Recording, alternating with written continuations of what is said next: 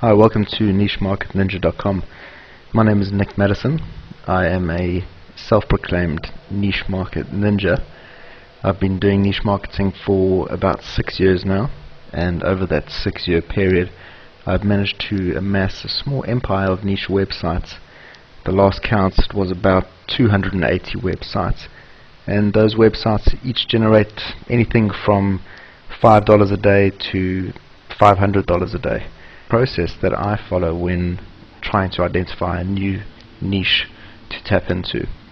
So as I mentioned before, I've currently got around 280 websites, so as you can imagine coming up with new niche ideas can be a challenge sometimes. But I've developed a particularly particular methodology uh, in which there's a few pieces of software that I use as well as some free online tools to help me discover multiple niche markets to get into. And I needed to create a methodology that was going to be somewhat mechanical as I now outsource this process. So uh, there needs to be not much thinking involved and it needs to be quite as I say mechanical. So I'm going to take you through that process now. First thing I'm going to do is head over to amazon.com and what I've done here is I've landed on the guitars page. I'm currently looking to go into uh, the musical instruments niche in particular guitars. But something that I want to do is drill further down than just guitars and actually go into left-handed guitars. And as you'll see here from the search results on amazon.com there are a number of left-handed guitar products products ranging from $120 right up to a few thousand dollars. And earning 6% commission currently on Amazon so I use Amazon as a base for the majority of my affiliate based uh, niche websites. So the niche we're going to look into, into today is the left-handed guitar niche. Now first thing I do is look for my foundation keyword which is going to be left-handed guitar so first tool I'm going to head over to is the AdWords keyword tool. And I'm not going to go into too much detail about some of these tools as you probably know them very well. Right so I'm going to put in my foundation keyword here.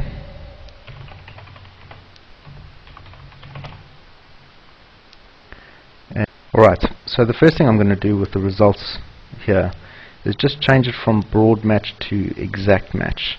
Now the reason I do that is quite simply I'm looking to find a, a keyword phrase which is going to be relatively uncompetitive but profitable at the same time and uh, searching for broad match is not a good true representation of of the of the search volume so an exact match will give you a better a clearer more exact uh, idea as to the, the, number of searches taking place every month. So change it to exact match. Just change the order to sorting by average search volume highest at the top.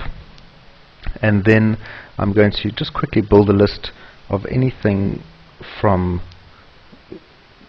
right at the top down to about the sort of 500 searches per month. So I'm going to stop about there.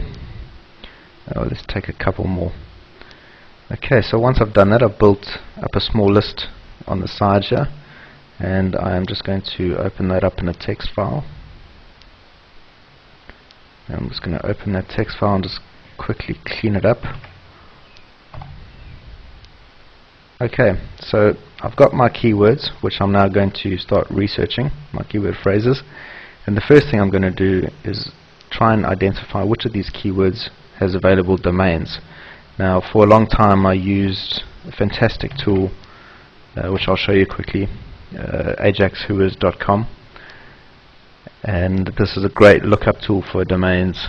Uh, it allows you to to take a, a keyword let's say for example left-handed guitars plug that in there and it does a very very fast lookup on domains Alright, but now what I do is, instead of using this tool for each keyword phrase, as certain niches will end up with a few hundred keywords in here, fortunately we've only got a few for this particular niche, but I use a free tool called the Domain Name Analyzer.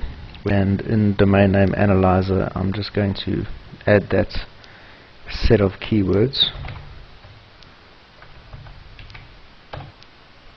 And I've just specified here to do a lookup on .coms and .orgs and then just run the lookup all.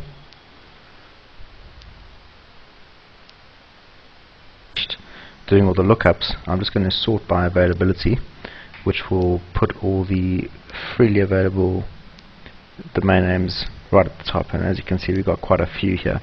So I'm just going to copy those now and just put those into Excel